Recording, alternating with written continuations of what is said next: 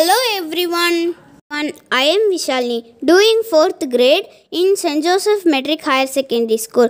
Today, I am here to talk the theme for World Environment Health Day 2021. First, first of all, I quote this thought: We shall never understand the natural environment until we see it as a living organism. As we are going through the difficult times due to COVID 19, declared by WHO as a pandemic.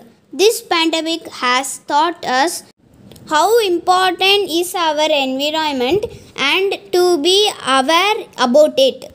On May 26, 2020, WHO released the manifesto to healthy recovery from COVID 19 based on some key ideas. Business and consequently in job will result income which will bring irreplaceable damage of the achievement of the desired things. The theme for 2021's World Environment Day is Ecosystem Restoration. As the World Environment Day celebrated every year.